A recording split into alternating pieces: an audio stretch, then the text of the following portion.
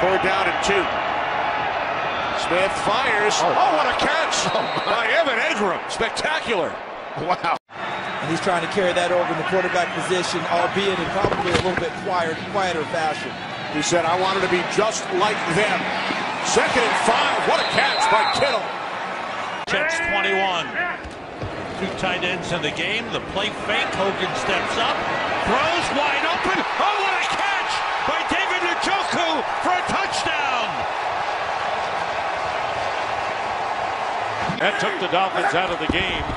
And here's a rollout by Fitzpatrick looking into the end zone, and the pass is caught by O.J. Howard for the touchdown. The question after last week in that Jags win in Houston was, was this Jacksonville team for real?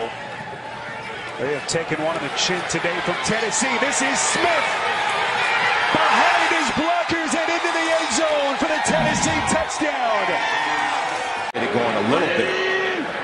Gurley at 19 carries for 40 yards last week, and now Goff rolling as a wide open receiver.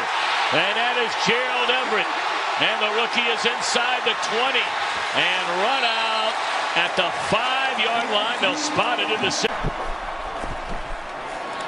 Cousins end zone all alone. Jeremy Sprinkle with his first his first catch.